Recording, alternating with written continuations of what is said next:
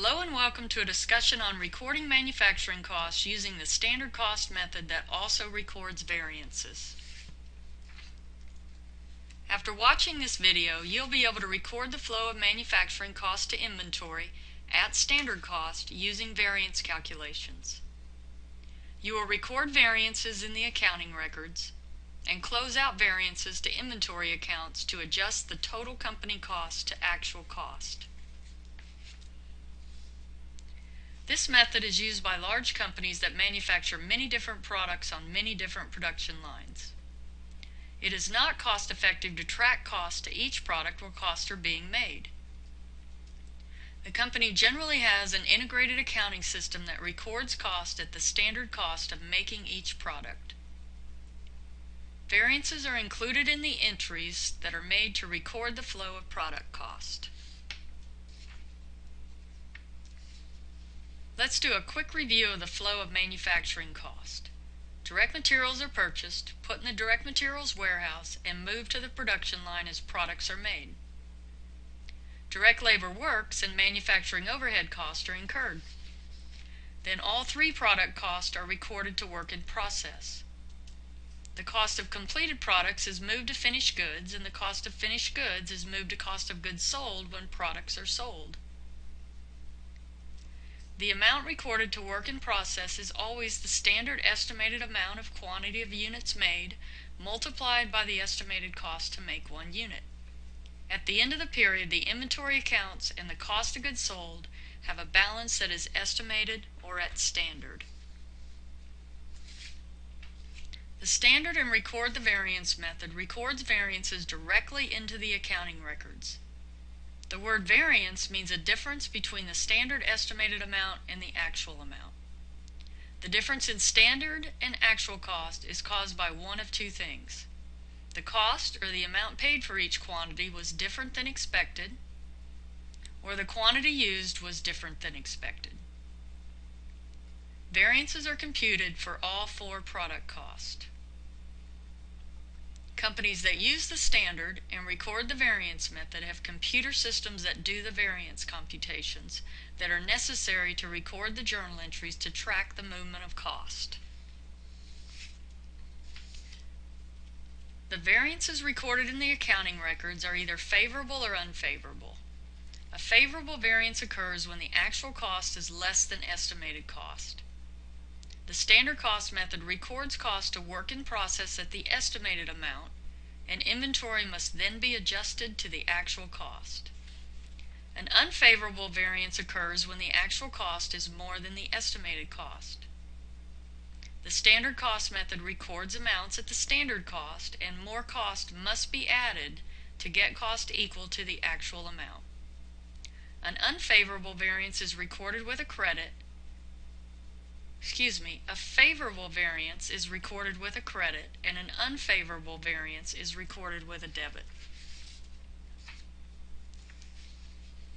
Direct materials purchased is recorded with the same debit to direct materials and credit to accounts payable. The inventory account always changes by the standard or estimated amount, and the credit is always an actual amount. The variance is recorded for the difference, and unfavorable variances are recorded with a debit and favorable variances are recorded with a credit. AQ times SP is the standard estimated amount on the right and AQ times AP is the actual amount on the left.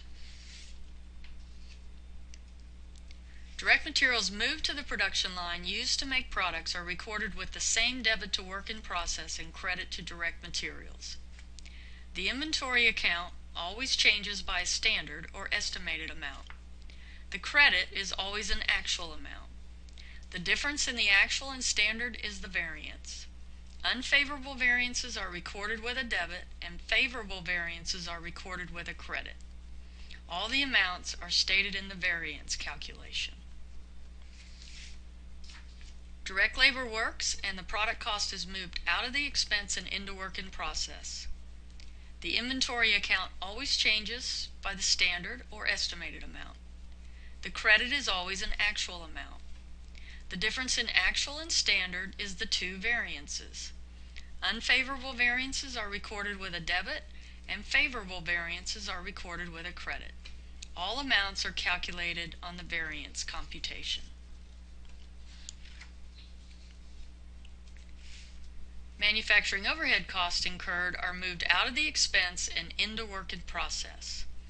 The inventory account always changes by the standard or the estimated amount. The credit is always an actual amount. The difference in actual and standard is the two variances.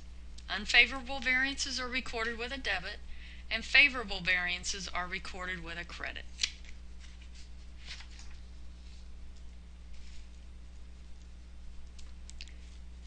Let's look at an example with numbers.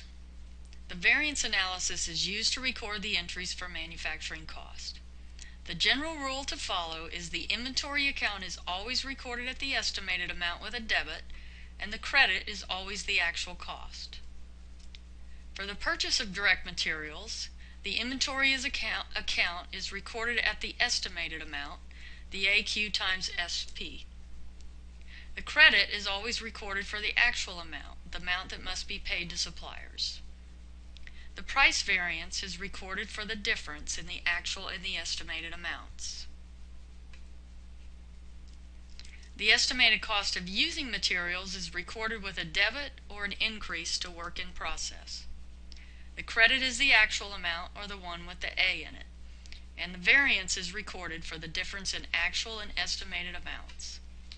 Notice that unfavorable variances are recorded with a debit and favorable variances are recorded with a credit.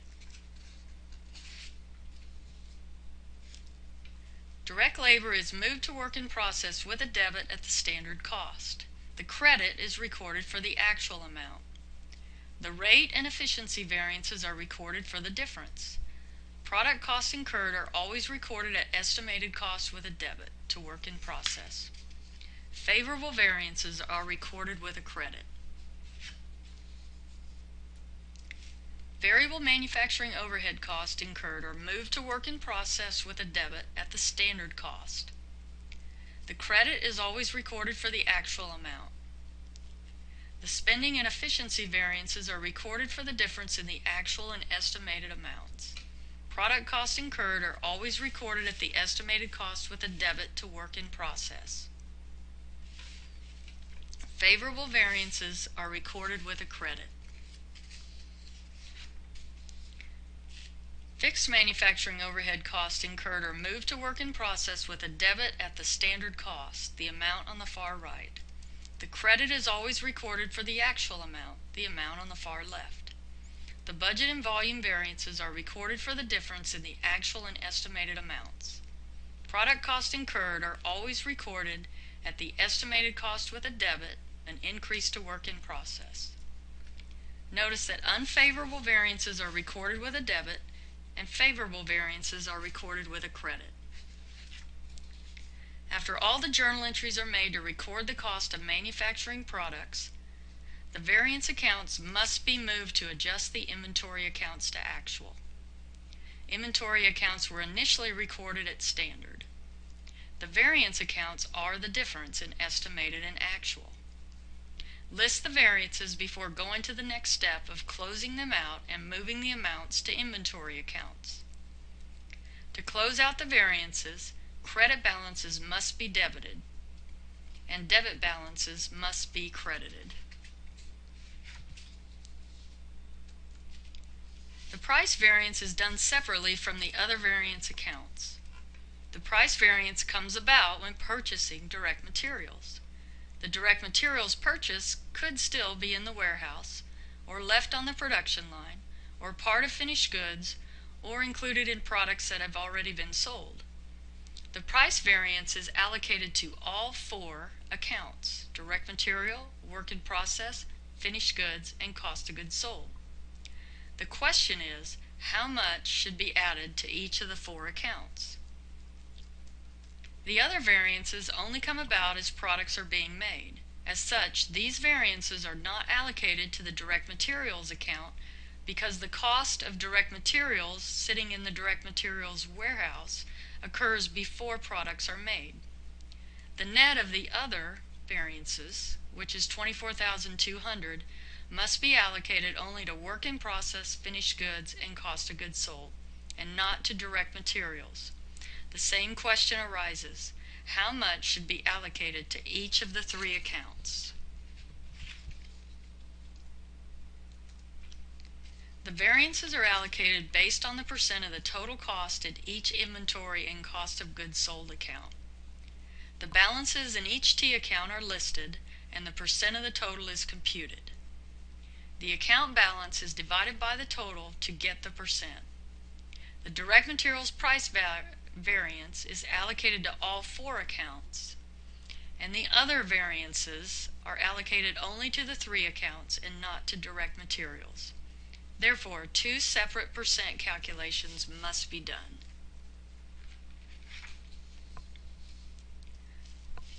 The price variance is multiplied by the percent for each account to get the amount to adjust each account. The net of all the other variances is allocated to the three accounts based on those percents. Direct materials account is not used for the other variances that occur when products are made because products are made after costs leave the direct materials warehouse. The inventory and cost of goods sold accounts are adjusted by the variance to close out the variance accounts. A debit variance is credited to make the balance go to zero. A credit balance is debited to adjust the variance to zero. Journal entries will, will look similar to this. Closing out the variance account, adjust the inventory and cost of goods sold account balances in total to be the actual total cost of the company.